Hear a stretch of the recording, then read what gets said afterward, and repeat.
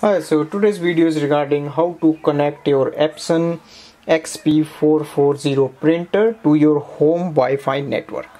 The first step is to switch on the printer and now go to the display panel. Okay, now on the display panel we have to go to the Wi-Fi setup and we press OK. So press OK. It says you can print wirelessly from computer and devices via Wi-Fi so again press ok. Now there are two methods to do it. Says Wi-Fi setup wizard and push button setup. So we can go for Wi-Fi setup wizard. It will search for your Wi-Fi network. So I selected the one I have and I press OK. Now we have to key in the password here.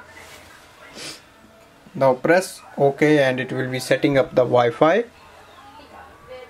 now you will go to the screen. It says setup complete. Print check report.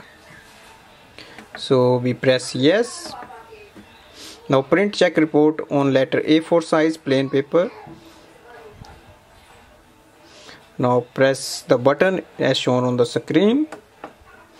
Now it will print a page just for the confirmation. So that's we can see on the screen as well. It says the Wi-Fi signal on the top. You can see on the top corner and that means your printer is connected to your home or office Wi-Fi network and now it is ready to be used with the other devices.